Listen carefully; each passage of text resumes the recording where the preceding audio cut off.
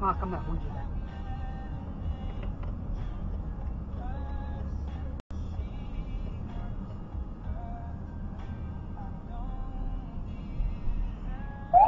Interference detection only Pro laser three behind. Yeah, back there. It was outside of his car.